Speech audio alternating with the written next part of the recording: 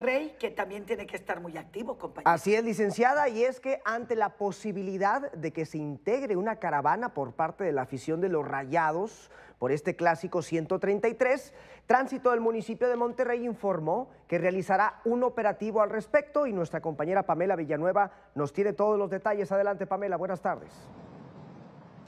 Gracias, Eric. Buenas tardes. Y es que a través de redes sociales está surgiendo esta convocatoria para que en punto de las 6.30 de la tarde la eh, barra de los rayados se reúna en la Plaza de Toros, ahí sobre la avenida Alfonso Reyes, a pocos metros de Ruiz Cortines, precisamente en el municipio de Monterrey, donde cada vez que hay clásico regio y que se juega en el Estadio de los Tigres, ellos suelen reunirse precisamente para llegar todos juntos hasta el estadio. Platicamos con Gerardo Gloria, el director de Vialidad y Tránsito de Monterrey, quien nos mencionó que van a estar participando 50 elementos de tránsito y por lo menos 200 elementos de la Policía Regia, precisamente para tratar de resguardar a la afición y tratar de evitar cualquier tipo de disturbio durante este recorrido. Lo que sí mencionó y que es importante señalar es que únicamente van a poder llegar hasta la calle Servicio Postal y después los van a desviar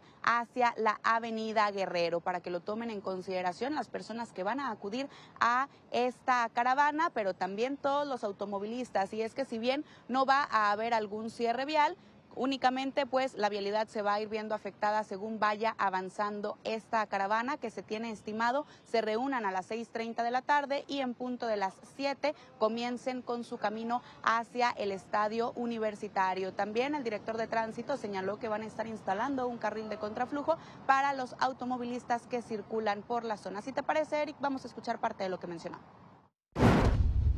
Tenemos precisamente 50 elementos preparados eh, dentro de lo que es eh, a los alrededores de la Plaza de Toros Monumental y siempre, siempre hacemos un, carril de contraflujo para darle salida y fluidez precisamente al, al, tráfico de la zona. Pero aquí viene importante señalar a la gente que va a participar en esta caravana que solamente van a poder llegar hasta el área de servicio postal o hasta la, altura de las vías.